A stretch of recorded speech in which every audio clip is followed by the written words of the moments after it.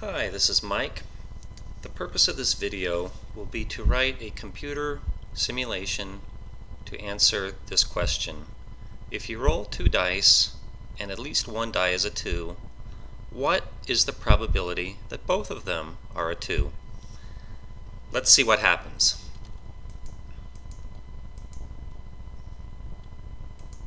Let's start out with a clean project.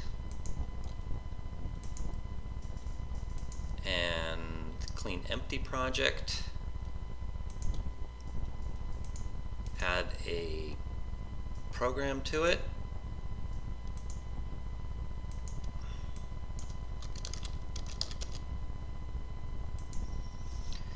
Okay. First, let me add these functions to it that I add to all my programs just to make it work.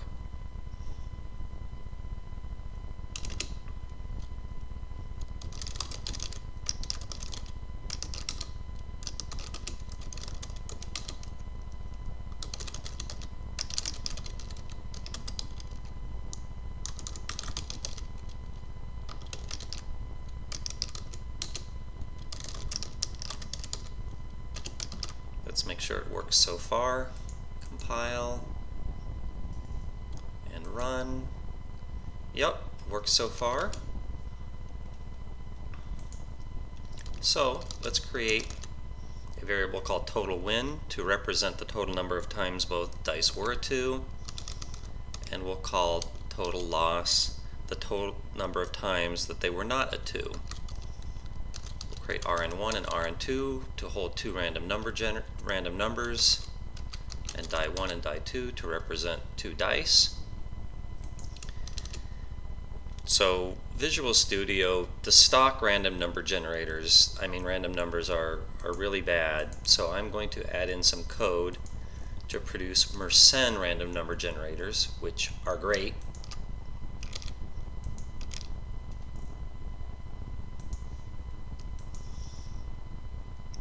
So I'm not going to go into all this, but trust me, it's just for the purpose of creating random numbers.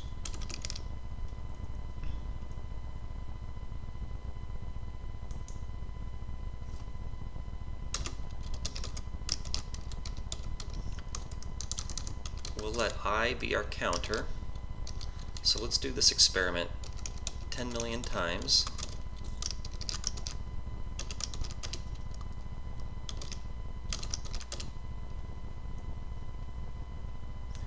Forgot that rn1 and rn2 need to be unsigned integers.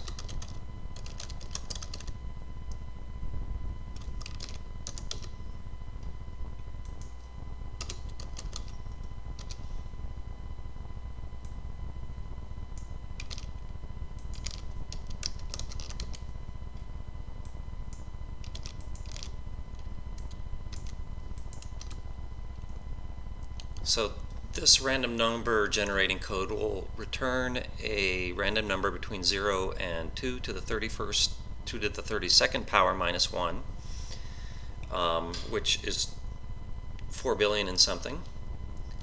So to transform that to just the roll of a die, I'm going to divide it by 6 and take the remainder which will give me a random number from 0 to 5, and then add 1 to it so that the range is 1 to 6.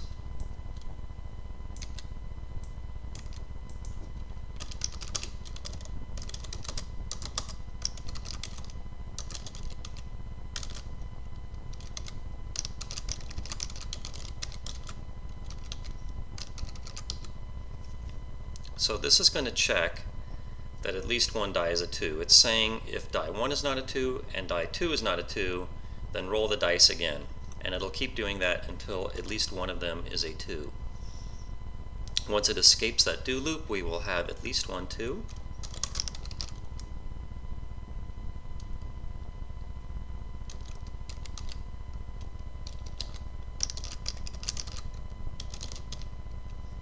So if both of them are 2, we increment total win Likewise, we increase we increment total loss.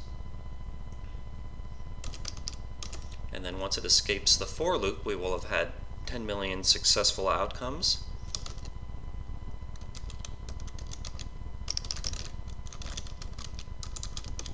And then we will print the results.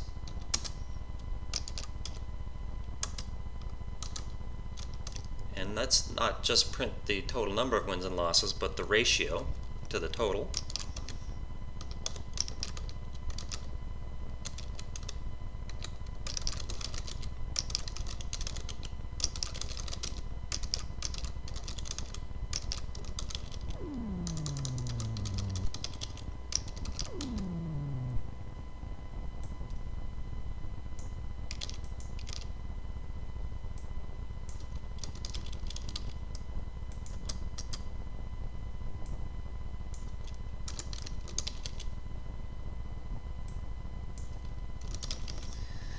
Okay.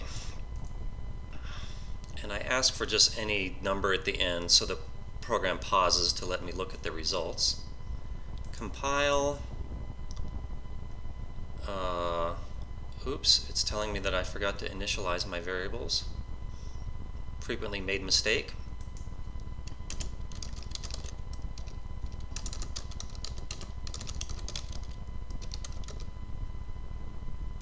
Compile again.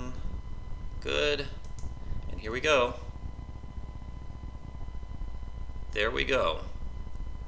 Total wins was about 907,000, which is a, about 9.08% of the total.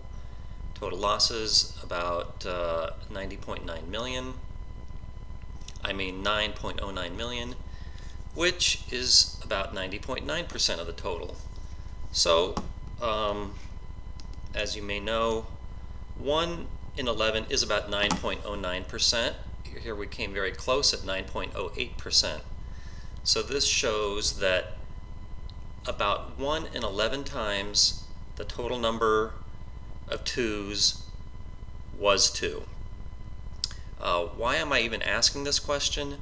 Because on my forum at Wizard of Vegas, there's about 2,000 posts arguing about this problem. And I already made one video trying to explain with just dice why the answer is 1 in 11. The skeptics were not convinced, so hopefully this video will provide more evidence that the answer is 1 in 11. It'll probably convince nobody. Nevertheless, um, I wanted to give it a shot anyway. So let's say that you're skeptical and you don't believe that I drew the random numbers correctly. Let's, um, let's also create a two-dimensional array. We'll just call it dice.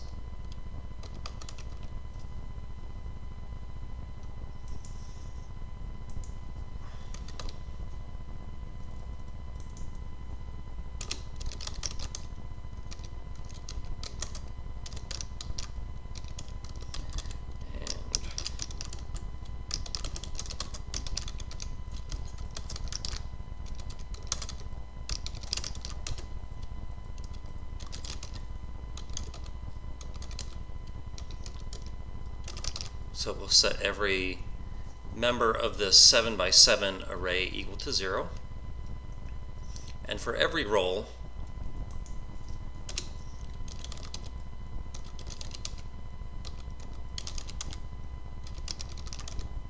we'll add, we'll increment the array according to the outcome of die 1 and die 2.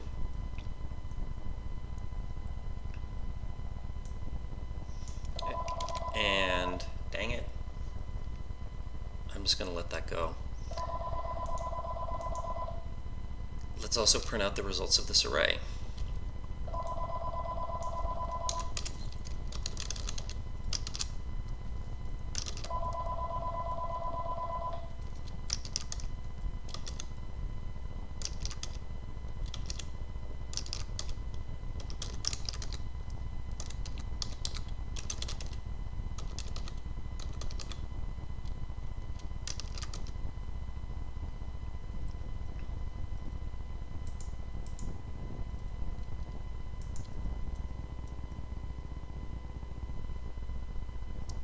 So here's another computer simulation. Um, and again, the total number of wins is, um, well, it really just repeated the last one. Again, 9.08%. And here's every combination of the two dice. For example, 1, 1, 1, 2, 1, 3. And it shows how many times each one happened. So you can see that all 36 combinations happened about 910,000 times each. Uh, just kind of eyeballing it, looks like a nice uniform distribution. So, I hope that video helps. Um, thank you very much.